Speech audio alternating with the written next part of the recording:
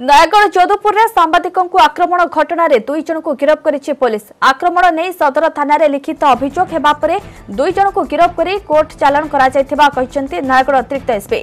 ସାମ୍ବାଦିକଙ୍କୁ ଆକ୍ରମଣ ଘଟଣାର ପ୍ରତିବାଦ କରି ଭୁବନେଶ୍ୱର ସୂଚନା ଭବନଠାରେ ରାସ୍ତାକୁ ଓହ୍ଲାଇଛନ୍ତି ସାମ୍ବାଦିକ ସଂଘ।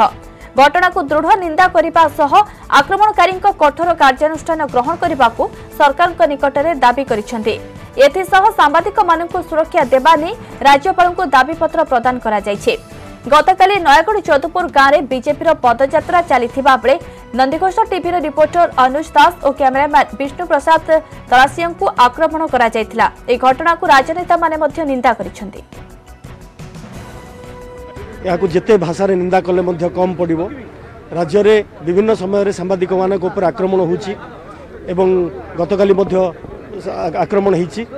ଆମେ ଦାବି କରୁଛୁ ଯେ ଯେଉଁମାନେ ଏଭଳି ଘଟଣା ସମ୍ପୃକ୍ତ ଅଛନ୍ତି ସେମାନେ ଅପରାଧୀ ଛଡ଼ା କୌଣସି ରାଜନେତା ହେଇନପାରନ୍ତି ସେମାନେ କୌଣସି ସମାଜସେବୀ ହେଇପାର ହେଇନପାରନ୍ତି କାହା ପାଇଁ ଦାବି କରି ନ୍ୟାୟ ଦାବି କରି ଅନ୍ୟ ଉପରେ ଅନ୍ୟାୟ କରିବା এইটা ମଧ୍ୟ ଗ୍ରହଣୀୟ କଥା ନୁହଁ ଆମର ଡିମାଣ୍ଡ ଆଜିର ଦିନରେ ରହୁଛି ଆଜି ମଧ୍ୟ ରାଜ୍ୟପାଳଙ୍କ ଉଦ୍ଦେଶ୍ୟରେ ଏକ ସ୍ମାରକପତ୍ର ଲେଖାଯାଇଛି ଯେଉଁଥିରେ ଆମେ ଡିମାଣ୍ଡ କରୁଛୁ ଯେଉଁ ବ୍ୟକ୍ତିମାନଙ୍କର ନାଁ ନିଆଯାଇଛି ଯେଉଁମାନେ ଏ ଘଟଣାରେ ପ୍ରତ୍ୟକ୍ଷ ଭାବରେ ଜଡ଼ିତ ସେମାନଙ୍କ ବିରୁଦ୍ଧରେ ତୁରନ୍ତ କାର୍ଯ୍ୟାନୁଷ୍ଠାନ ଗ୍ରହଣ କରାଯାଉ ଏବଂ ବର୍ତ୍ତମାନ ସୁଦ୍ଧା ବିଡ଼ମ୍ବନାର ବିଷୟ ଏବେ ଏବେ ଘଟଣାର ଆପଣ ଚବିଶ ଚବିଶ ଘଣ୍ଟା ବିତିବାକୁ ବସିଲାଣି ବର୍ତ୍ତମାନ ସୁଦ୍ଧା ଏ ବାବଦରେ କୌଣସି ଦୃଷ୍ଟାନ୍ତମୂଳକ କାର୍ଯ୍ୟାନୁଷ୍ଠାନ ପୋଲିସ କରିନି ଯାହା ସୋସିଆଲ ସ୍କ୍ରୁଟିନିରେ ଯେଉଁ ଯେଉଁ କଥା ରହିବା କଥା ସେ ସମ୍ପର୍କରେ ଗଣମାଧ୍ୟମ ଯେତେବେଳେ ତାଙ୍କର ସ୍ୱରକୁ ଉପସ୍ଥାପନ କରୁଛନ୍ତି ସେତେବେଳେ ସେ ସରକାରୀ ଦଳ ହୁଅନ୍ତୁ ସେ ବିରୋଧୀ ଦଳ ହୁଅନ୍ତୁ ଆମେ ସମସ୍ତେ ସମ୍ବେଦନଶୀଳ ହେବା ଉଚିତ।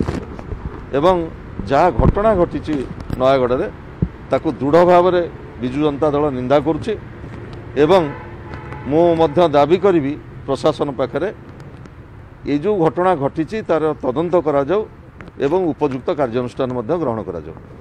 କାଲି ନୟାଗଡ଼ରେ ବାଡ଼େଇଲେ କ୍ୟାମେରା ଭାଙ୍ଗିଲେ ଅପଦସ୍ତ କଲେ ତାହେଲେ ଇଏ କାହିଁକି ରିକ୍ସ ନେଇକି ଯୁବକମାନେ ଶିକ୍ଷିତ ଯୁବ ଯୁବକ ଯୁବତୀମାନେ ଡେଞ୍ଜରିୟସ୍ ଜାଗାକୁ ଯାଇ କରୋନାଠୁ ଆରମ୍ଭ କରି ବନ୍ୟା ବାତ୍ୟା ମହାବାତ୍ୟା ଘର ପୋଡ଼ି ଆକ୍ସିଡେଣ୍ଟ ସବୁ ତଥ୍ୟ ଆଣିକି ଦେବେ ନିଜ ଜୀବନକୁ ବିପନ୍ନ କରି ଯଦି ମାଡ଼ ଖାଇବେ ମୁଖ୍ୟମନ୍ତ୍ରୀ ମହୋଦୟ ତୁରନ୍ତ ଏସ୍ପିକି ପଠାଇ କାଲିରେ ଯେଉଁ ଝାମେଲା ହେଇଛି ଗଣ୍ଡଗୋଳ ହେଇଛି ମିଡ଼ିଆ ସହିତ ଯେଉଁମାନେ ଇନଭଲ୍ଭ ତାଙ୍କୁ ଆଇଡେଣ୍ଟିଫାଏ କରି ଜେଲ୍କୁ ପଠା ପନିସମେଣ୍ଟ ଦିଅ।